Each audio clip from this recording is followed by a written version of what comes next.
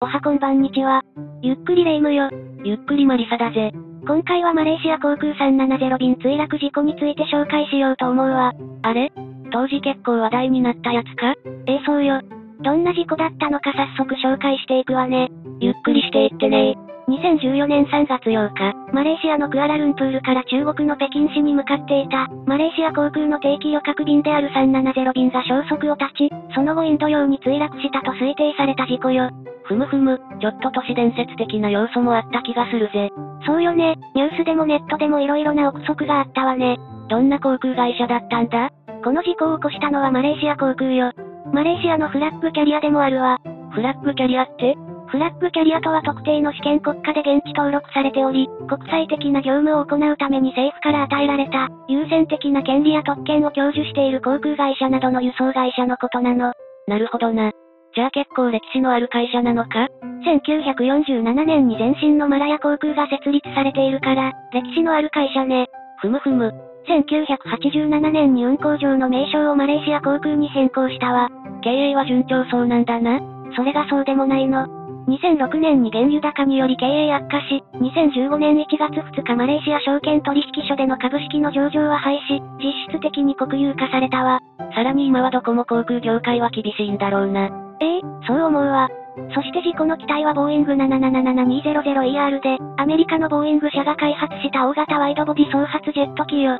古い機体なのか ?2002 年5月14日に初飛行し、2002年5月31日からマレーシア航空が運用していたの。ふむふむ、10年くらい飛行していたんだな。ええそうね。エンジンはロールスロイストレント892で、航空会社によると総飛行時間は2万243時間ね。離着陸は3023サイクルだったわ。ロールスロイスって車のイメージがあったけど、航空機のエンジンも作っていたのか。意外よね。そして航空会社の広報担当者は、総飛行時間は5万3400時間以上で7525サイクルをこなしていたと述べていて、事故機は2014年2月に保守点検を受けていたわ。ちゃんと整備もされていたようだな。事故機の 9MMRO がこれまでに重大事故に遭遇した経歴はないものの、2012年8月9日、上海プートン国際空港でタキシング中に、中国東方航空のエアバス A340600 の機体後部と、磁気の翼端を接触させ、ウィングレットを破損する事故を起こしているわ。タキシングって？タキシングは、航空機が自らの動力で地上を移動することを言うのよ。なるほどな。乗員乗客はどのくらいいたんだ？事故機には乗員12人と幼児5人を含む、乗客227人が乗っていたわ。幼児もいたんだな。機長は53歳のマレーシア人で1981年に入社し、飛行時間は1万8365時間だった。そして副操縦士は27歳のマレーシア人で、2007年からマレーシア航空で勤務し、飛行時間は2763時間だったわ。客室乗務員も全員がマレーシア人だったの。機長はベテランだったんだな。ええそうね。そしてマレーシア航空は、搭乗客の国籍について発表したの。その中に含まれていたイタリア人1人は1年前に、オーストリア人1人は2年前に、それぞれタイでパスポートを盗まれており、この2人分については別人が搭乗していたことが分かったわ。え、別人？タイ国家警察庁と国際刑事警察機構 ICPO は、この2人について、監視カメラの映像などから人物を特定したわ。特定できたのか。オーストリアの予見を使用したのは、母親の住むドイツに移住する予定だった19歳の男性、イタリアの予見を使用したのは29歳の男性で、共にイラン人だったことを明らかにしたの。ええー、そんなことできるのか。また、マレーシアのヒシャムディンフセイン運輸大臣代理は、他にも二人がヨーロッパの国の不正予見で、搭乗した疑いがあると発表したわ。さらに、乗客名簿に載っていた中国人男性一人の予見は実際には一度も出国履歴がなく、本人も出国していなかったわ。この他、5人が直前に搭乗を取りやめていた。この5人の荷物は、クアラルンプールで取り出されていたわ。じゃあ被害は免れていたというわけだな。そうなるわね。そして事故当日、マレーシア航空370便は、2014年3月8日午前0時41分、12人の乗員を含む239人を乗せてクアラルンプール国際空港を出発したの。ふむふむ。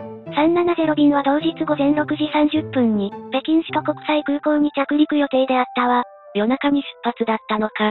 370便は離陸の約50分後、ベトナム南部の海岸近くの海上を航行中の午前1時30分に、クアラルンプールの西南西約 15km にあるスバン空港の管制当局との交信の終了後、次の予定飛行空域を担う管制当局とは交信を開始せず、以後無線電話通信による管制当局との交信を絶ったわ。え、じゃあ50分後には何らかの異常があったというわけなのか。ええ。でも救難信号は出されていなかったの。また、このフライトのフライトレーダーを見ると、南に向かっているのが確認された。マレーシア空軍は軍事レーダーなどから、370便は消息を絶つ直前に、出発地のクアラルンプールに引き返そうとした可能性があるとしているわ。何らかの異常を感じて引き返したかったのか。その後、タイランド湾の東中東付近に墜落したとされていたが、マレーシアのヒシャムディン・フセイン運輸大臣代理により否定されたわ。ふむふむ。じゃあどこに墜落したんだ？その後、3月11日にマレーシア空軍幹部が CNN の取材に対して、動機はベトナム沖上空で ATC トランスポンダが自動応答を返さなくなった後、目的地の北京とは逆方向へ引き返したとみられ、同空軍は出発地クアラルンプールの北西、マラッカ海峡の上空で機体を見失ったと語ったわ。捜索はどうだったんだ？翌日には同機の緊急脱出用ドアと思われる物体が浮いているのを発見したと同国政府関係者が伝えたの。見つかってたのか？そう思ったんだけどね。ボーイング777型機には緊急脱出専用のドアはない上に、漂流物発見の翌日にベトナム当局は、漂流物も油膜も事故とは無関係との見方を示したの。違うものだったのか。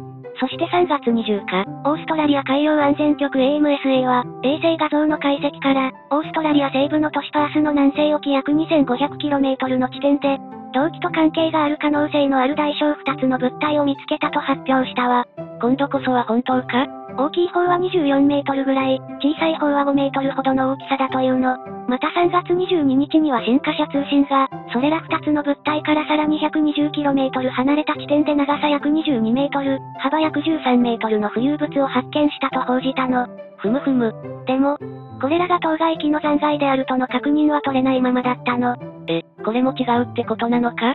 その後はどうなったんだ？3月24日、マレーシアのナジブラザク首相は、イギリスの衛星通信会社インマルサットと、イギリスの航空事故調査局 AIB による衛星情報の新たな解析の結果、インド洋南部に墜落したとみられると発表したわ。墜落したと認定されてしまったのか？ええそうなの。そして生存者はいないとしているわ。このマレーシアの説明に不満を持った中国の乗客の親族らが、北京市のマレーシア大使館の前でデモを行ったみたいね。そりゃ発表だけじゃ信じられない気持ちもわかるぜ。そうよね。マレーシア政府は2015年1月に、機体がその残骸さえ見つかっていないことなどから、乗員乗客は全員死亡したと推定したわ。推定するしかないんだろうな。その後も見つかっていないのか ?2015 年7月29日、フランス領レユニオンにて、航空機の残骸と思われる部品、スーツケースが発見されたわ。事故から1年以上経ってやっと。そうなの。フランス、ブルーズに運ばれて詳細に調査されたところ、ボーイング777の部品であることが判明したわ。見つかってびっくりしただろうな。本当よね。その後、8月6日にナジブ首相が記者会見を行い、レユニオン島で発見された航空機の機体について、370便の機体の一部であることを確認したと発表したわ。発見された機体の一部はフラッペロンであったの。フラッペロンとはフラップと補助翼エルロンを兼ねたもののことよ。ふむふむ。一部でも見つかってよかったな。2016年3月21日にも南アフリカで、搭載されていたエンジンロールスロイストレント892の一部とみられる、エンブレム入りの破片が見つかっているわ。続々と見つかっているぜ。このほか、370便のものと思われる残骸が、レユニオン島だけでなくモザンビーク、モーリシャス、マダガスカルなどで見つかっているの。このうち、マダガスカルには乗客の所持品と思われる手荷物が、2016年6月頃に海岸へと漂着していたわ。何年もの年月をかけて流れ着いたんだな。ええそうね。そして同年9月13日までにマダガスカル南東部のサントルース近郊で、370便の機体の一部と思われる残骸が、焼け焦げた状態で漂着しているのが発見されたわ。そのため、370便の機内で火災が発生した可能性が浮上しているわ。なかなか原因特定も難しいようだな。ええそうなのよね。機体の一部が失踪後、1年半ほど経過して発見されてはいるが、2020年11月現在、ブラックボックスの発見には至っていないの。5年以上経っても見つかっていないものが多かったもんな。火災が発生していた可能性やパイロット自身、及び第三者によるハイジャック説などが提唱されているが、動機が墜落した原因はまだ不明ね。また、乗客と乗員の遺体も発見されていないわ。遺体も発見されていないとは本当に家族は信じられないよな。そうなのよね。この事件では、マレーシア政府の公式見解の発表の遅れ、南シナ海での目撃情報、また状況説明が2点3点する一方で、別ソースからも操縦士の過去の問題がリークされるなど、情報が錯綜、陰謀論をはじめ、様々な憶測が飛び交っているわ。何も見つかっていないあたりがもう都市伝説のように感じられてしまうよな。またマリサの都市伝説好きが始まってしまったわ。ちょっとワクワクしてしまったぜ。マリサったら、ちなみに日本もマレーシア政府から支援要請があって、防衛省が自衛隊員ら4人を派遣したの。日本も捜索活動をしていたんだな。ええそうなの。さらには航空自衛隊の輸送機や海上自衛隊の哨戒機をそれぞれに派遣されたわ。ふむふむ。航空事故に際して自衛隊が国際緊急援助隊を派遣するのは、本県が初の事例となるの。派遣人員は約100名だったわ。なかなかの人数が派遣されてるな。そして海上保安庁が保有するジェット機海鷲と、海上保安官12人も国際緊急援助隊としてマレーシアに派遣されたわ。お疲れ様と伝えたくなるぜ。あらまり去ったら感激しちゃったのね。でもまだ見つかっていないのは残念なことだよな。ええそうなのよね。でも今後見つかることもあるかもしれないし、そうしたら原因もわかるかもしれないわね。そうなることを祈るぜ。私もそう思うわ。それでは今回はこの辺で終わろうかしら。最後までご視聴いただきありがとうございました。このチャンネルでは事故や災害について解説してるから、よかったらチャンネル登録と高評価をよろしく頼むぜ。それではまた次回会いましょう。バイバイ。